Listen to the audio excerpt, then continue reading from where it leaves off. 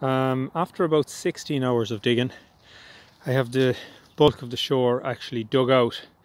Now there's a significant amount of water pooling in it and the reason for that is that from roughly midway down there needs to be another inch or two bottomed out on that shore.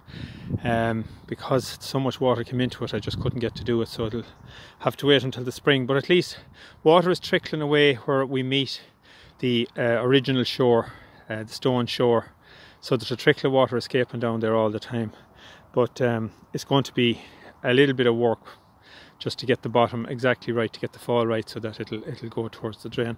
But I'm very happy with it. Um, 16 hours isn't a lot of time in your life for to get good exercise uh, enjoy the natural world around you and get lots of fresh air.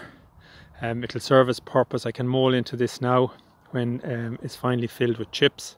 There'll be no pipe used it'll just be um, 30 25 to 35 mil chip that'll be used in it.